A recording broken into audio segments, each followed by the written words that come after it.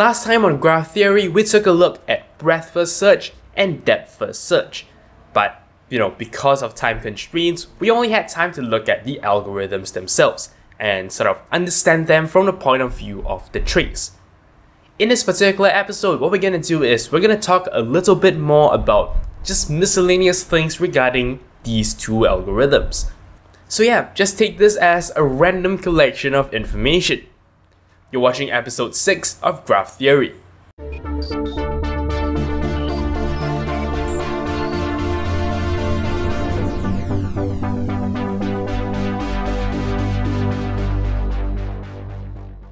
Hello and welcome back to Graph Theory.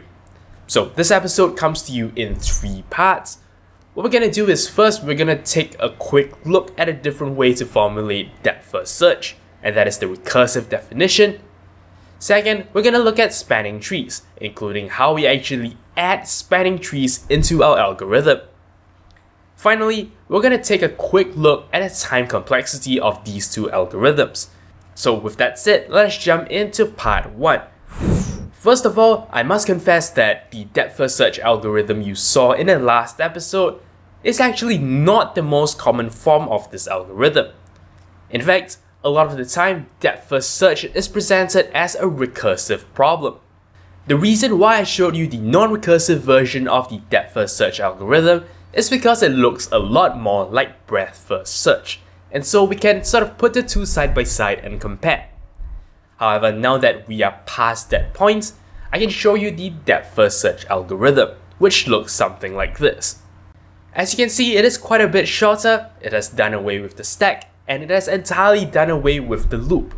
All it needs to do is to make recursive calls to itself. In fact, the reason why we can do things this way is because recursion happens on a stack as well. We've discussed recursion in the past before, so I won't go into too much detail. All I need you to see is this pattern. Every time a recursive call is made, the rest of the algorithm waits until that call and any further calls it may spawn are complete. We're going to make use of this behavior to replace the stack in a non-recursive depth first search. And as it turns out, the amount of work done by the recursive version is the same as the amount of work done by the non-recursive version. We make as many recursive calls as there are vertices, meaning we actually put less on the stack. But as we are backtracking, we spend a bit of time waiting for the many loops to complete. And that's why at the end of the day, really the amount of work done is the same. For a full trace of the recursive algorithm, please click the link on screen. I also want to take this opportunity to thank YouTube user StunDude for helping me set my idea straight and to fix some issues originally present in this trace. Notice that the results we get aren't exactly the same as the non-recursive version, and this is due to the different order in which the neighbors are visited. If this is unclear to you, click the link on screen for the full trace. Part 2 Spanning Trees First and foremost, a very important note on spanning trees, and that is they are not unique. You've already seen breadth first search and depth first search compared to each other, and the spanning trees they've generated are not unique they are different. Not just that, however, you notice that I actually visit nodes in a particular order. Let's say I visit this node, I actually look at its neighbors in a counterclockwise order. So this guy always comes first, then the next one, the next one, and the next one. And that is an order that I've arbitrarily picked. In truth, we have no idea how our nodes are sorted. Maybe they aren't even sorted at all, which is what makes the order random. In certain cases, particularly with depth first search, this gives you a different spanning tree.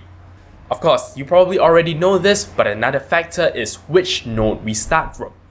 Depending on where we start, the spanning tree will also look different. So yeah, the point is spanning trees are not unique. In fact, depending on how your vertices are sorted, a spanning tree may not even be really predictable. But yeah, we don't really need to think too much about this because as long as a spanning tree spans the entire graph, then we have a spanning tree. Simple as that. So then the question is how do we generate a spanning tree? As you would recall from the trace, the only difference between, you know, just doing a search and generating a spanning tree is to simply connect nodes to the nodes that have led to them. In other words, what we need to do is to augment our two algorithms with a new array. And this array is called parent. It keeps track of the node that has actually led up to that particular node.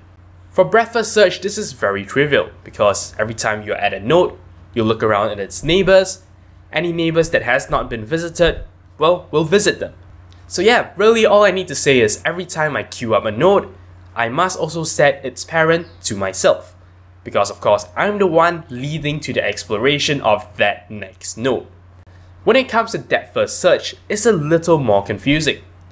You see, if you remember from the trace, basically what's happening is we may actually push some nodes onto the stack, but by the time we get around to them, they might have already been visited because some other node has done it first. However, turns out that isn't a problem.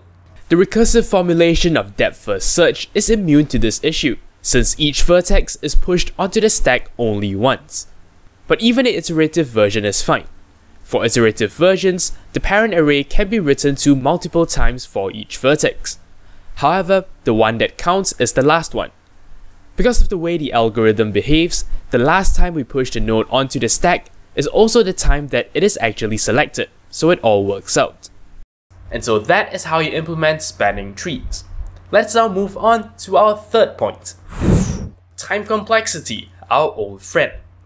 Now, if you remember from, you know, other algorithms, time complexity is normally expressed in terms of n, and n of course being the number of input items we have for the algorithm.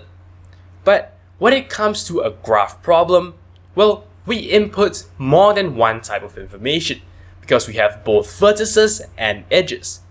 That is why when it comes to expressing time complexity of graph algorithms, we don't express it in terms of n. We express it in terms of v and e, the number of vertices and the number of edges respectively. So let's try to analyze both breadth first search and depth first search at the same time, because of course, they do basically the same kind of work. Both these algorithms have nested loops. Let's try and understand each loop separately, and then put them both together to form our final time complexity. What the outer loop does is clear. It must run until the queue or stack is empty. In other words, all this loop is doing is visiting every vertex once. Therefore, the outer loop runs in OV time. The inner loop is a little bit more complex. Its job is to iterate over every edge connected to the current vertex. This loop runs once for every iteration of the outer while loop. In other words, for each vertex, we must explore all their edges, and we must do so for every vertex. The time complexity for this is not immediately obvious, and can in fact be different in different situations. For example, if the graph is complete, in other words, every vertex connects to every other vertex, then each vertex has v minus 1 outgoing edges. In that case, the time complexity of the entire algorithm is OV squared. Apart from the graph's properties, the data structure used also plays a part. For example, if you use something inefficient like an adjacency matrix, then the time is OV squared as well, because every time you need to look up the neighbors of one vertex, you have to check it against every vertex in a graph to see if an edge exists between the two. The reason why we can say OV squared in these two situations is because we can express the number of edges E in terms of the number of vertices V. However, in a general case, where we are not sure how E relates to V, we'll have to think of it independently of V. Luckily, that's not too hard. Let's look at this graph. Let's draw out the process of each node visiting every one of its neighbors in two different colors. You'll see immediately that some edges are visited twice because each edge is connected to two vertices. In fact, every single edge is visited twice. This means that the total amount of work done by the inner loop is 2e, or OE for short. To get a final time complexity, we simply add the two together. We visit every vertex once, and in total, we visit every edge twice. That gives us OV plus E as the final time complexity for both breadth first search and depth first search. Now at this point you'll probably ask, you know, why do we have a plus in our time complexity? Don't we normally just keep, you know, whatever term dominates? Well, In this case, it's because we have no idea whether the number of vertices or the number of edges actually dominate, and as a result, we have to keep both terms. Anyway, that's all for this episode. This also wraps up all our discussions for breadth first search and depth first search. Next episode, we move on to Prim's and Kruskal's, another two algorithms that are more or less basic but one step up from DFS and BFS. So I hope you're looking forward to that. That's all there is for this episode. Thank you very much for watching, and until next time, you're watching 0612 TV. Thank you very much for watching. If you liked this video, consider checking out the rest of my work on my channel. Alternatively, you may want to check out a playlist of the other videos in this series. If you'd like to show me some monetary support, I am on Patreon. You can find a link to my campaign in the video description. Of course, you can simply like this video or leave a comment. I'll be sure to respond as soon as I can. To keep in touch with my future uploads, do subscribe to this channel, and for even more updates, check out the official Twitter account for this channel at 0612TV. Thank you for your support.